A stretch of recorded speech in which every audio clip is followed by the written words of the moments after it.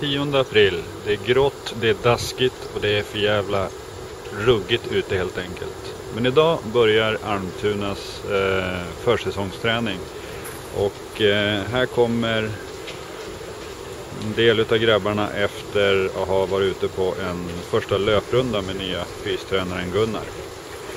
Och ska nu in i B-hallen för fortsatta aktiviteter.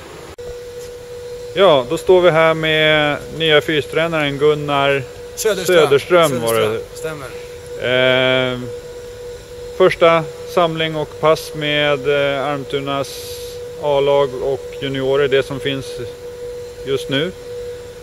Eh, kan du berätta lite om hur du hade tänkt att lägga upp det här? Jo, det ska jag gärna göra.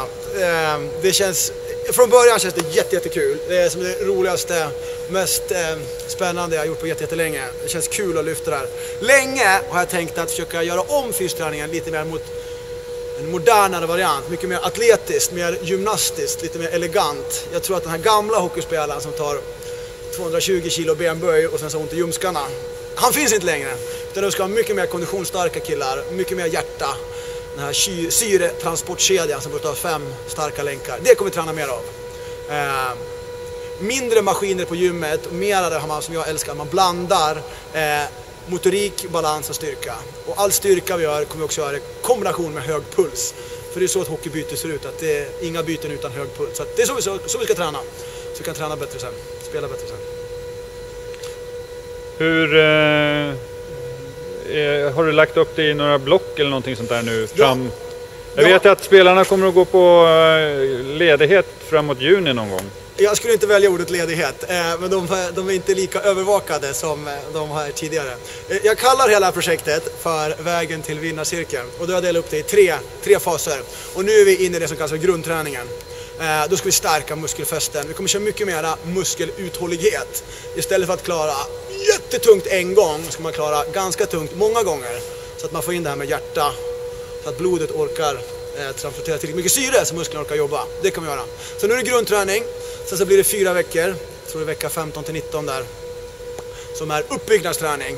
Eller som också kallas för träningsverksveckorna. Då kommer det bli tufft. Och det kommer vara en del i Fyrishov. Eh, lite nytt sådär också. Få lite bra genomblödning i musklerna. Simma. Och sen de sista veckorna där blir det eh, fart. Eh, kondition och fart där också. Lite mera, den blocket kallar för I feel the need for speed. Jag tycker om små projekt sådär. Eh, men det är ganska rejält genomarbetat. Varje pass har ett klart syfte. Alla tider är skrivna. Alla kommer få personliga program med tanken. Eh, jag jobbar som kostrådgivare också. Så nu på torsdag kommer vi göra fettprocentmätningar på alla och de som behöver gå ner i vikt ska få hjälp att göra det. Och de som behöver bygga upp sig ska få det. Eh, Ja, jag jobbar ju mycket som personlig tränare, så det ska jag försöka göra. Jobba som personlig tränare fast det är 27 stycken.